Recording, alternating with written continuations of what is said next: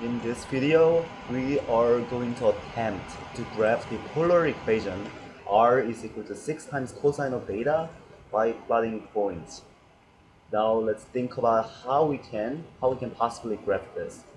Easiest way of doing it for now is plotting the theta values theta and plugging theta values into the function to get outputs which are gonna be r's and we're gonna plot the points r theta.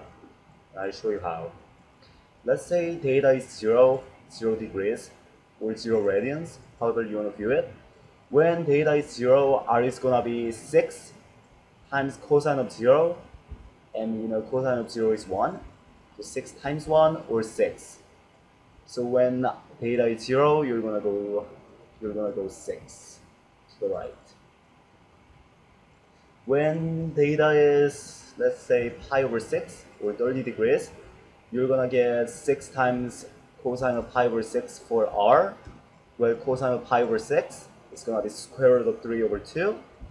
6 times square root of 3 over 2 is 3 times square root of 3.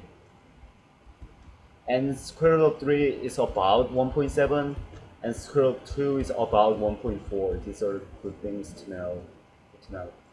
So 3 times square root of 3 is going to be about 3 times 1.7 or about 5.1. So when it's pi over 6, we're going to go about, we're going to go about 5.1. So we're going 5 and we're going to north, so right there.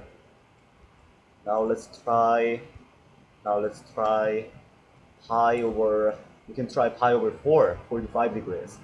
Then r is going to be 6 times cosine of pi over 4, known as 6 times square root of 2 over 2, or 3 times square root of 2. And as shown below, square root of 2 is about 1.4.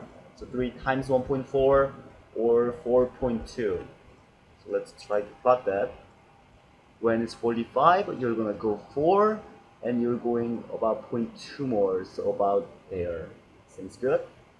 Now let's try pi over 3 r is going to be 6, r is going to be 6, times cosine of pi third. Cosine of pi third is 1 half. So 6 times 1 half is going to be 3. So if when it's when it's 60 degrees pi third, you're gonna go 3 to the 3 forward. And that's gonna be right there. Now let's try when now let's try when theta now let's try when theta let's continue this chart. Let's continue this chart downward. Let's go theta and R. And let's try 90 degrees or pi over 2 radians. Remember, remember, let me rewrite it. It's gonna be R, it's gonna be 6 times cosine theta. So our R is gonna be 6 times cosine of pi over 2. Where cosine of pi over 2 is 1. No, no, it's not 1, it's actually 0. My mistake. 6 times 0 is going to be 0. So for pi over 2, you're not going up, you're not going down, you're going to stay in the same place. It's right there.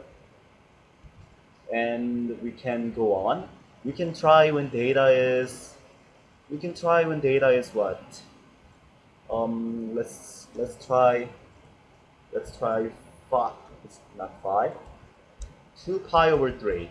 2 pi over 3 is going to be 120 and what's that gonna be? 6 times cosine of 2 pi over 3?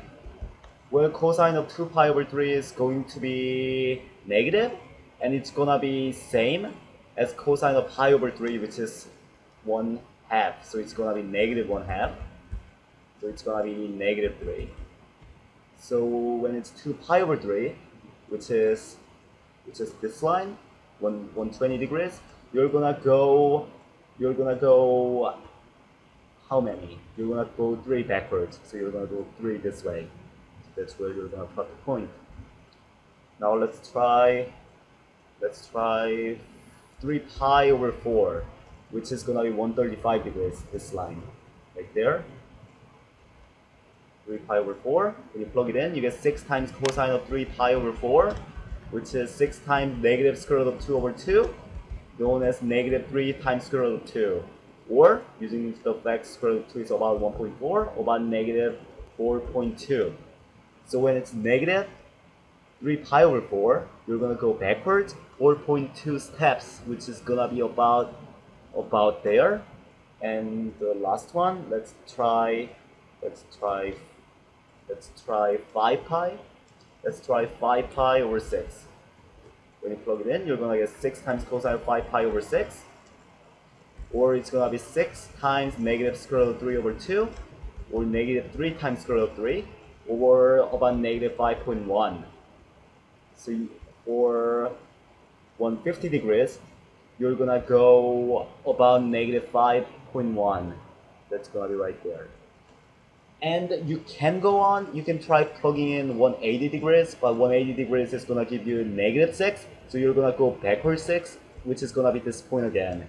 And you can try continuing this, but you are going to be plotting the points where we have already plotted them. So it's gonna repeat this sequence in a way.